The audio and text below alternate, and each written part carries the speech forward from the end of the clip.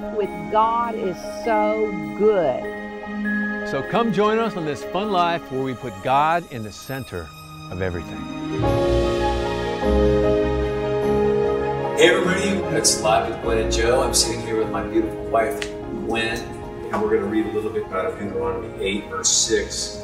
It says, uh, Observe the commandments of the Lord your God, walking in his ways and revering him. For the Lord your God is bringing you into a good land, a land with streams and pools of water, with springs flowing in the valleys and hills, a land with wheat and barley, vines and fig trees, pomegranates, olive oil, and honey, a land where bread will not be scarce and you will lack nothing, a land where the rocks are iron and you can dig copper out of the hills. That's so cool. Amazing. Everything, just everything that you could possibly need is supplied. And so what we were talking about is the amazing, like, um, blessings from obedience is what that's talking about. And we're experiencing that. I mean, just look behind us. Okay, so we have a garden here, and the garden has produced amazing things this year, and it happens quickly. Amazing. We have baskets of, of fresh tomatoes and so many cucumbers. It's it's a bountiful blessing. It's right out of Deuteronomy 8. And it, it says it says if you observe it and you revere God, He's going to bless you. Yes, and I am so big on that because I just feel like, oh, we could fix everything. And he just, he, some of the, the word wording, you know, in the Bible is all, all the commands. So that's a necessary component. Because you wonder why, you know, if you feel like, oh, I'm not getting blessed. I mean, you've got to lay down that sin and then you've got to um, observe. And observe isn't just looking at it, but it's actually doing it. You know, it's not an observation of the eyes, it's an observing of the commands and doing them. And that's the difference is people like to look at it, hear about it on a, on a Sabbath uh, day, Lord's Day, but they, they're not wanting to actually do it, but they want the blessings. The physical produce of the garden is actually kind of a metaphor for the garden of your life. And you start talking about uh, being obedient and, and uh, paying attention to, to God's laws and, and, getting under authority and things like that. And it worked in my life. And, and I, I, am just amazed at, at, the transition and how things, how things happened for me personally when I, when I started paying attention to the right things. My, my life's garden uh, started producing a tremendous amount of fruit. So, well, look what you invested in. You invested in the kingdom, into saints, that were, you know, trying to do the will of God, once you set your sails directly in the right path, then you get blessed. Ezekiel 18 is very clear. The son is not going to share in the guilt of the father. And then it talks about this person who'd been sinning. And it talks about how he, you know, eats at the mountain shrines and defiles his neighbor's wife. He oppresses the poor and needy. He commits robbery. He does not return what he took in pledge. He looks uh, to the idols and he does detestable things, okay? So, you know, you've got to find out, hey, what am I doing here? Am I bound down to a, a pan of brownies?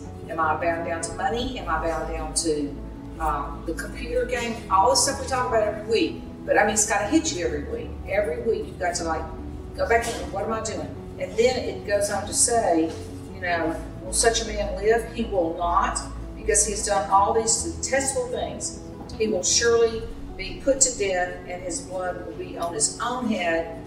Then it goes on to say, though, if he turns, but if he turns, then all these blessings will come back. And then it goes back to say, but if a righteous man turns from his righteousness and commits sin and does the same detestable things. So you've got a man that's lived righteous all his life, but then he turns, then then his, you can expect his life to go downhill.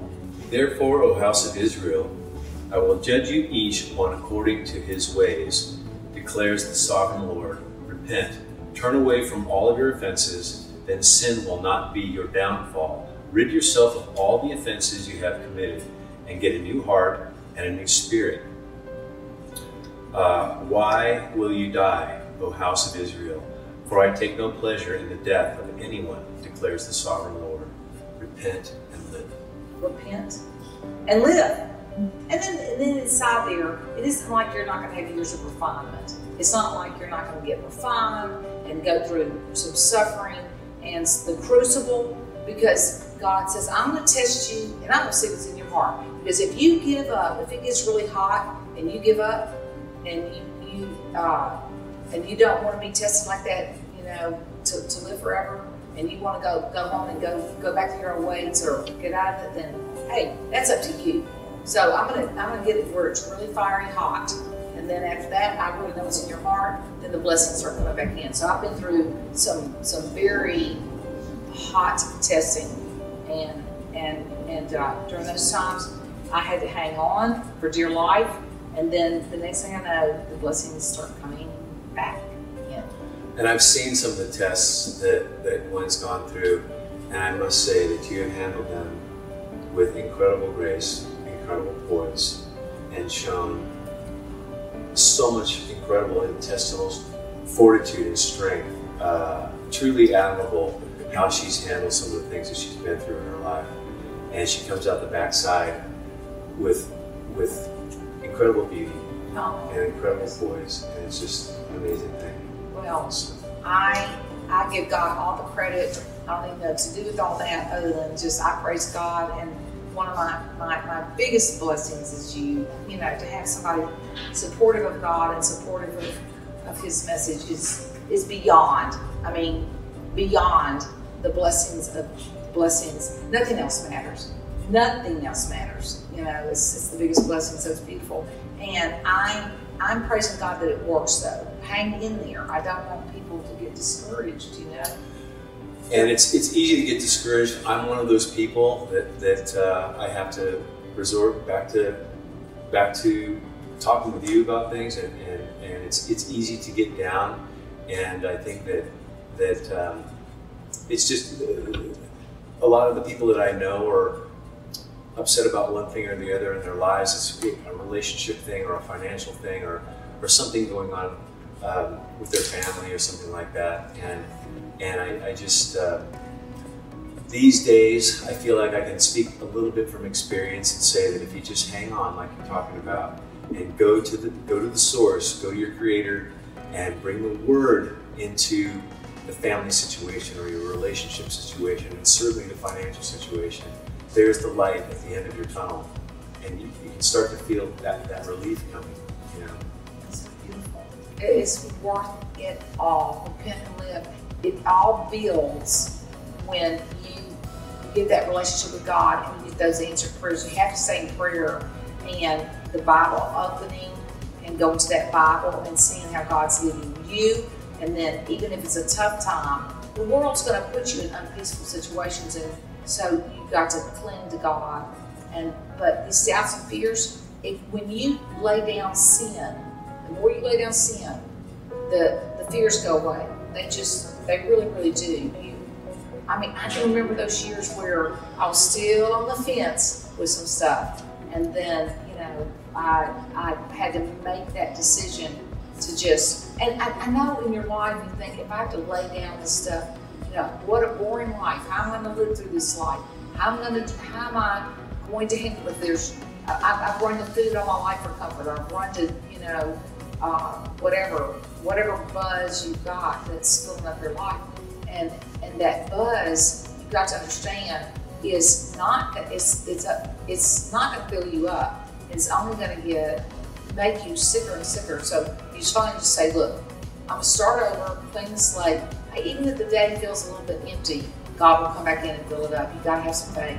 You gotta have some faith, and that will get rid of your fears. You guys are dear to us. We pray for you. Joe and I are praying, and we, we pray for everyone uh, because we're all brothers and sisters together. One big family here. absolutely. So we love you, love you, love you, and thank you for joining us.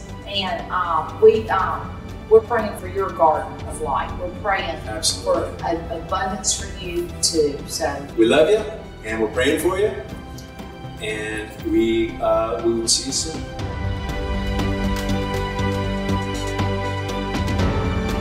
Be sure to like this video, subscribe to our channel, and click the bell so you are notified when we have a new video.